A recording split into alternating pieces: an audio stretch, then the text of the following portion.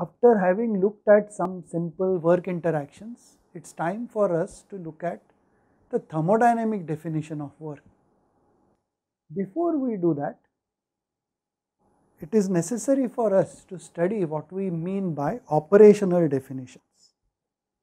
It is necessary to look at these because our thermodynamic definition of work will be a proper operational definition.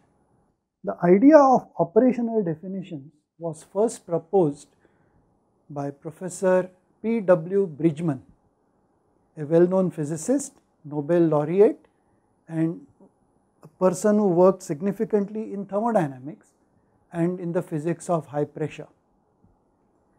His books, The Nature of Physical Theory and The Nature of Thermodynamics are classics and those who are interested in the history of physics and the development of the formulations of physics should look up these books in an appropriate library. The Bridgman's idea of operational definitions which we will adopt is like this. An operational definition allows us to decide whether some item x is applicable by using a procedure and a procedure is defined as a series of operations which one can execute.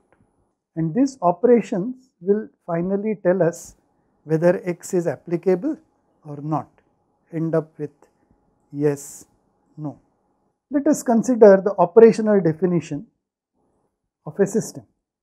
Now suppose we are given x, something, is x a system from the point of view of thermodynamics.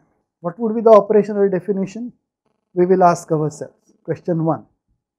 Does it define a region in space? Question 2. Are all its boundaries properly defined? Question 3. Hence, does it have a definite volume at any instant in time? Well, if the answer to all these questions is yes, yes, yes, then yes, X is a system.